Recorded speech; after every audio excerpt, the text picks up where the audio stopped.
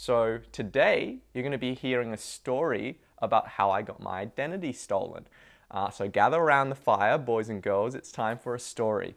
Now, this story all starts in about October 2015. So, um, towards the end of last year, one day I get a message on my mobile phone saying, Congratulations, your new mobile plan comes with 24 months uh, free subscription to Spotify Premium. And I'm like, well, that's great, but I don't remember signing up for a new mobile phone plan. So I head on into the local uh, Vodafone store in Chatswood and I ask them, hey, um, what's the deal with this SMS message? And they look in their systems and they ask me, did you walk into North Sydney earlier today to apply for two iPhones on contract? No, I did not walk into North Sydney today to apply for two iPhones on contract. They call up North Sydney and North Sydney says, hey, someone walked in, applied for two iPhones on contract. Here's the Medicare and driver's license cards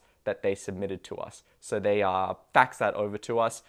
Uh, and I looked at that, and someone had actually seemingly taken my uh, Medicare card and my Australian driver's license card, and they had uh, basically made counterfeit copies of the cards, and all the card details were correct except that the photo was swapped out. So I said, okay, I, I think I'm going to go to the police station now. So I go to the police station, and I uh, explain the whole situation to the police, and the officer is kind of like, well, um, yeah, it sucks. This kind of thing happens a lot. Um, he, I didn't get a real strong sense that there wasn't going to be too much that they could do about this, but um, you know, that's sort of understandable. And then just as I'm walking out of the police station, having filed the police report, uh, I get a call from the Vodafone Chatswood store. And the lady that I was just speaking to says to me over the phone, hey, the person that we were just talking about who went into the North Sydney store, he's just walked into the store right now uh, here in Chatswood. So what should I do? And I say, well, can you see if you can sort of hold him in the store? She says, I'll, I'll try. And at this point, I'm just like, okay, so we're gonna get the guy. He's right in the, he's right at the store. Let's let's do this. So I run back into the police station. I look like I must look like a crazy person because I run in and I'm all breathless and I'm like, there's this guy. He's at the the store now. Um, it's the same guy. The the officers are kind of like, oh, okay. So um, uh, we're going to go there in a second. Uh, if you can contact uh, the shopping center security, uh, let them know to hold the guy in the store, um, and then we'll be there shortly. I call uh, the shopping center security. I-, I, must sound like a mess over the phone because they clearly don't understand what I'm saying. They're just like, okay, so there's, I just need to go down to this Vodafone store.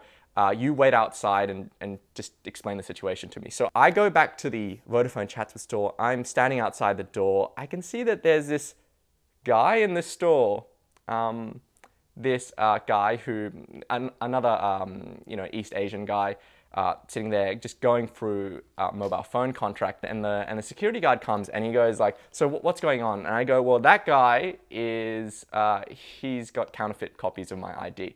So they go, "Okay." So we move into the store.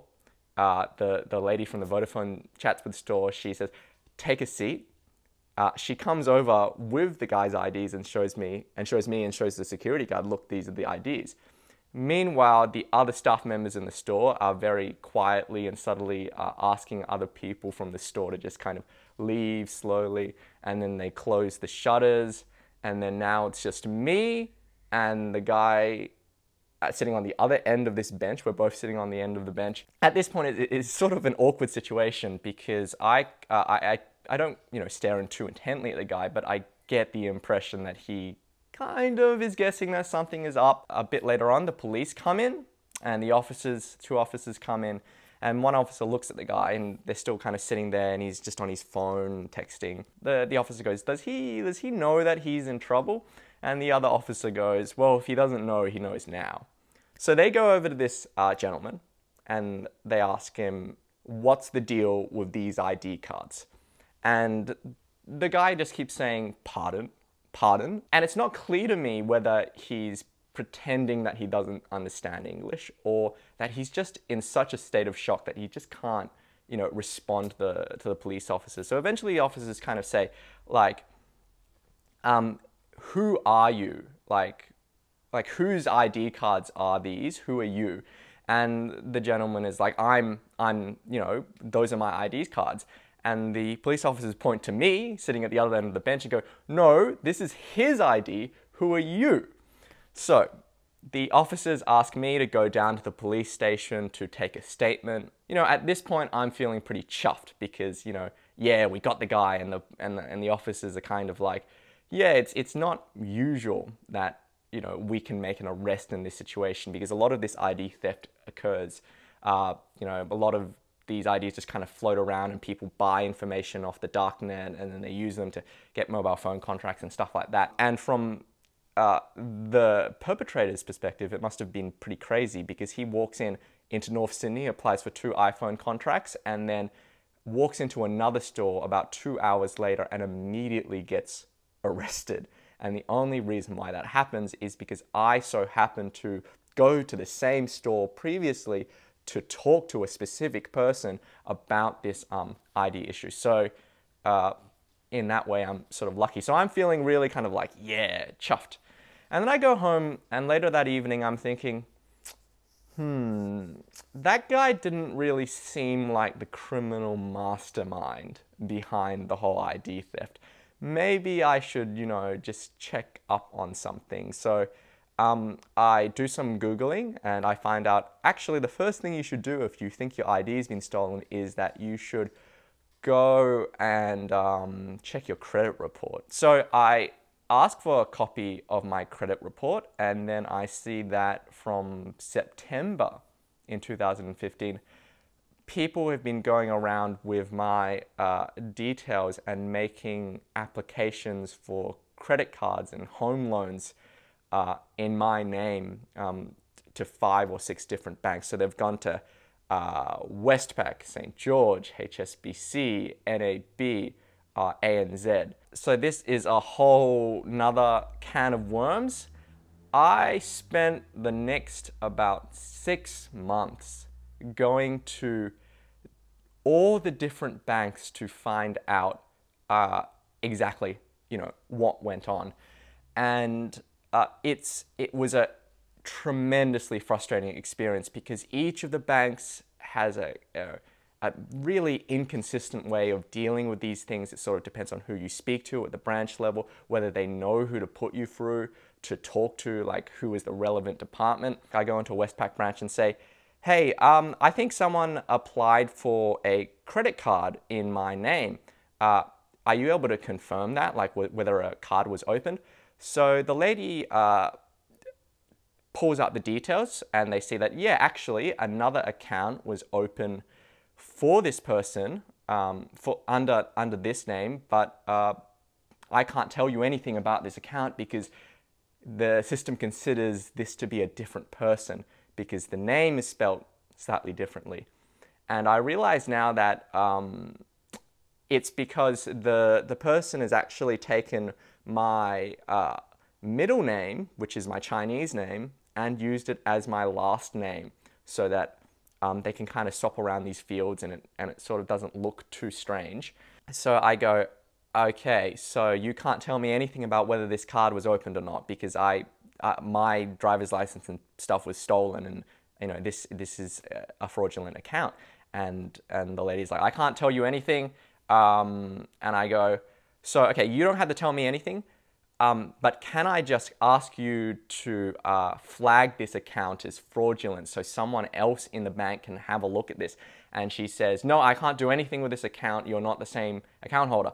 So I'm just like, so you're telling me that if I come into your bank and say that there's another account where they have the same listed birthday as me, the same driver's license as me, the same address as me, um, and I tell you that that account's fraudulent and you might have extended credit to a, a, fraudulent, you know, a criminal, you're not going to do anything about it. And she just goes, well, I'm, just going to go speak to my manager. So she goes out the back uh, and then she comes back and she's like, no, you're going to have to get a court subpoena to get any of this information and blah, blah. And at this point, I'm just like, okay, whatever. So I go to ANZ and ANZ is really much more on the ball about this. As soon as I explain the situation, um, uh, ANZ goes, "We'll look at this immediately," because I realized um, from the from what the credit report told me that it turns out that ANZ actually did open a credit card uh, to this individual. So they're like, "Thank you for letting us know. We're going to get this uh, written off for you." Uh, here's the contact of who you need to talk to. What we're going to do is we're going to put through this to the applications fraud department. So there's there's fraud departments for banks, and then there are specific departments for deal with different kinds of fraud, like application fraud or credit card fraud or that kind of thing. What you need to do is speak to someone about application fraud.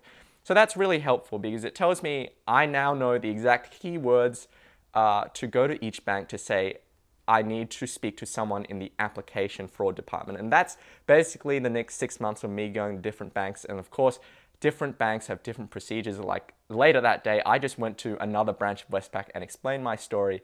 And this time I spoke to someone who was like, yes, um, this is what we need to do. Some banks are better than others. I went to uh, a branch of HSBC and literally asked them like, do you have a, a number for the fraud department that I can contact? And they say, um, no, we don't have a direct number. Like we, we can't put you into contact with the with that department. And I'm like, okay, so you're a bank. You must surely have uh, a way to contact the fraud department. And they say, well, there's this email address you can send to. So I send an email to the email address, and then it bounces back. And I come back to the branch and I ask them, and they say, um, oh, actually, yeah, I've sent emails to that that email as well, and they have bounced back. So I don't know what's going on. And I'm just like, okay. So and the only reason why I'm I, I am forced to go to the branch is that if I uh, none of the numbers are listed on the website, none of the details, and uh, if I call over the phone, I just put get put through to like five different operators. Anyway, so the reason why, I mean, I guess I should mention the reason why I want to, I had to go to all these different banks is because it looks like on my credit report that in the space of a few months, I went to five different banks to apply for a credit card which uh, is not going to look great um, for any sort of future credit application, uh, especially because I was sort of rejected each time because they were fraudulent applications. And the uh, crazy thing is that if a bank gets a fraudulent application, they can just mark it as fraudulent, but they don't, you know, they don't update the uh, the credit reporting agency to say, hey, we we determined that this um, application was was fraudulent. Um, and they don't have to notify the person who the details are that, that, has been stolen. So um, there are apparently laws and various procedures about how this has to be handled in Australia, but it seems like it's fairly sort of um, inconsistent between the different banks and the, and the training for the different employees about how they proceed. Blah, blah, blah. So it has been a sort of a nightmare that's only very recently, and the only reason why I'm making this video now is because it's only very recently that I could clear it up because I what I had to do is sort of like a pincer movement where I spoke to the credit reporting agencies and I spoke, spoke to the banks and I told the credit reporting agencies um, the banks are going to you know make this correction and then I told the, the banks that the credit reporting agency is going to make this correction. And can you please can the right person from the reporting agency and the bank communicate? Because you both know like you the bank knows it's fraudulent but they had to contact the reporting agency to get it removed. And the reporting agency it knows it's fraud like has the power to remove it but they don't know who to speak to in the bank. And and and finally across three different credit reporting companies because there are um, three private companies in Australia that keep credit uh, reports on, on individual people, I finally got all the entries removed. Um, so, what did I learn from this, and what is something that I can tell you? Uh, first of all, um, be careful about your ID. I do not know how my Medicare, which is sort of the Australian uh, the Australian uh, Universal Healthcare kind of card, and and it was, I know I would show you, but I've learnt now that it's it's a horrible idea to show people your ID unless it's absolutely necessary. Um, that ID is, is sometimes used for, for identification in Australia, and also my driver's license, which is a photo ID with my photo and, and that kind of stuff. Um, be careful, obviously, who you show it to. Always ask what, what, what people do with your, with your details. Now, the fact that my Medicare and driver's license card were both stolen together tells me that they were actually probably both copied at the same time. And the only time that I can think of when they were both copied was when I was making an application uh, either to Vodafone or Optus or a telco company for a new contract, and that's when they make a photocopy of ID. I went down to the Optus store where I signed a contract and I said, Hey, what do you do with those IDs that you make photocopies of? And they said, Well, we used to just keep them in a folder out the back, and then Optus kind of told us we have to stop doing that. And I go, Well, that, you know, and that probably hasn't helped me. Another thing that I learned is that, um, check your credit report because you can get free copies of your credit report, at least in Australia. You can ask for them, you can see who's been making applications, you can actually sign up for alerts. Uh, so that you can go to a credit reporting agency and say, let me know whenever anyone applies for credit in my name. Now, in case you're wondering sort of what the resolution was with the, the original person who who stole the um, who, who got the actual physical counterfeit copies because I'm sure all the other bank applications were done by different people on through online applications, blah blah blah. The person who actually walked into the Vodafone store turns out they were like some 19 year old kid. Um, they didn't have to face any sort of real jail time or anything like that. It was a sort of situation where apparently what happens is that uh, they they just come in uh, with the with their parents and the police tell them that was a very bad thing that you did, and now your parents have to know that you stole someone's credit card, um, stole someone's driver's license, and and um, you know, so there, so you can avoid a federal offense. You can, but very bad. Don't do it again. So um, I guess it's the uh, equivalent of detention. I guess for a 19-year-old, you don't really want to send them to prison because it's not exactly uh, you don't exactly come out of prison, the most well-adjusted person, I'm assuming. All I can say is that I, when I was a kid, and I remember uh, one time, because I was being a little shit in class, um, my teacher made me sit outside the classroom. And just then, uh, as I was sitting outside, my mum came to pick me up from the classroom and she looked at me and I looked at her. I'm sitting out the classroom and I was mortified and I felt so bad um, and embarrassed um, because you know I was in trouble and, and she was there to see it. Uh, I I hope that the person who who did steal my details feels some of that that it, feels at least a, a, fraction of that horrible mortification that I felt that day. So that's um that's the story of how my how I got my identity stolen. Uh, I hope it has been uh, entertaining at least. Um, yeah, check the video description for uh, links to some of the uh, agencies that you should contact if you do get your identity stolen. And if you have gotten your identity stolen, uh, if you feel like it, please let me know your story in the comments because uh, it sucks. So, yeah. Anyway, uh, I'll see you next week. Cheers.